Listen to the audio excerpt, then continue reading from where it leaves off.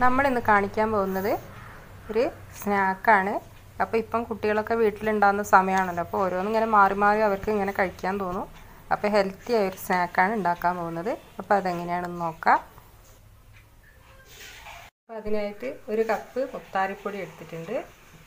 അപ്പോൾ ഒരു കപ്പ് തേങ്ങാപ്പാൽ വേണം. അപ്പോൾ ഞാൻ എടുത്തത് ഇപ്പോൾ പശുവും പാലാണ് അപ്പോൾ തേങ്ങാപ്പാൽ ഉണ്ടെങ്കിൽ അതെടുക്കുക. അല്ലെങ്കിൽ പശുവും പാൽ എടുക്കുക. അപ്പോൾ ഇതിലോട്ട് ഇനി ഒരു നുള്ള് ഉപ്പിട്ട് കൊടുക്കുക. ഒറ്റൊരു നുള്ള് മതി. എന്നിട്ട് ഇനി ഈ പാൽ ചേർത്ത് കൊടുക്കുക. ആവശ്യത്തിന് ചേർത്ത് കൊടുക്കുക. അല്പാൽപ്പം ഒഴിച്ചിട്ട് നമുക്ക് മിക്സ് ചെയ്ത് കൊടുക്കുക. എന്നിട്ട് വേണമെങ്കിൽ പിന്നെ ഒഴിച്ചു കൊടുത്താൽ മതി. നന്നായി കട്ടയൊന്നുമില്ലാതെ മിക്സ് ചെയ്തെടുക്കുക നമ്മൾ ഇഡ്ഡലി മാവില്ലേ അതിന്റെയൊക്കെ ഒരു പരുവത്തിൽ. അപ്പം ഞാൻ ആ പാൽ ഫുള്ള് കൊഴിച്ചു കൊടുത്ത് അപ്പോൾ ഒരു കപ്പ് മുത്താരിപ്പൊടിക്ക് ഒരു കപ്പ് പാൽ തന്നെ എടുത്തിട്ടിട്ട് അപ്പോൾ ചില മുത്താരിപ്പൊടി അല്പം വെള്ളം ഇങ്ങനെ പാൽ ഇത്ര ആവശ്യം ഉണ്ടാവില്ല. ചില മുത്താരിപ്പൊടിക്ക് ഇതിൽ കൂടുതൽ പാൽ വേണ്ടോ വരും. അപ്പോൾ അത് ഓരോരോ മുത്താരിപ്പൊടിക്ക് അനുസരിച്ചായിരിക്കും. അപ്പോൾ ഇതാണ് ഇതിന്റെ പാകം. ഈ ഒരു പാകത്തിന് നമുക്ക് മിക്സ് ചെയ്തെടുക്കാം. അപ്പോൾ ഇനി വേണ്ടത് ശർക്കരയും തേങ്ങയാണ്. അപ്പോൾ ഒരു കപ്പ് തേങ്ങ ചിരകിയതെടുക്കുക അതുപോലെ തന്നെ ഒരു മൂന്നച്ച് ശർക്കര എടുത്തിട്ടുണ്ട്. അപ്പോൾ ഇത് നന്നായി അങ്ങോട്ട് പൊടിച്ചെടുത്തതാണ്.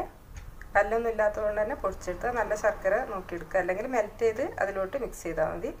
ഇത് ഇനി ഇത് രണ്ടും കൂടെ നന്നായി ഒന്നും കൂടെ മിക്സ് ചെയ്തെടുക്കാം. നമുക്ക് കുഴച്ചെടുക്കാം ഈ തേങ്ങയും ഈ ശർക്കരയും കൂടെ. അപ്പോൾ തേങ്ങയും ശർക്കരയും നന്നായി കുഴച്ച് വെച്ചിട്ടുണ്ട്. ഇനി നമുക്ക് വേണ്ടത് ഇട്ടലിത്തട്ടാണ് തട്ടാണ്. അപ്പോൾ ഇട്ടലിത്തട്ട് തട്ട് എടുത്തിട്ട് നമുക്ക് സ്റ്റീം ചെയ്തെടുക്കുകയാണ് വേണ്ടത്. അല്പം നെയ്യ് തടവി കൊടുക്കുക അപ്പോൾ ഇനി നമുക്ക് മാവ് ഒഴിച്ചു കൊടുക്കാം. അല്പം ഒഴിച്ചു കൊടുക്കുക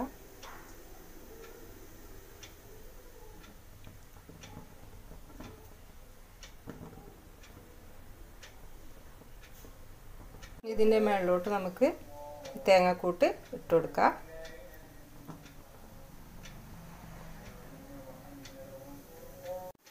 അപ്പം ഇനി വീണ്ടും ഈ ബാക്കിയുള്ള മാവും കൂടെ ഇതിന്റെ വെള്ളം ഒഴിച്ചു കൊടുക്കുക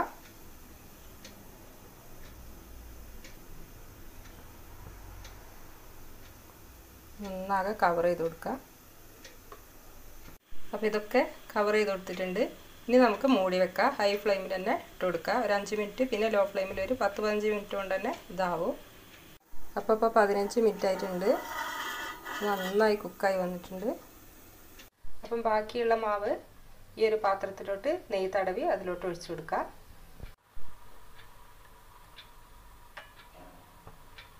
ഇതിന്റെ മുകളിലോട്ടേക്ക് മാവ് ഒഴിച്ചു കൊടുക്കുക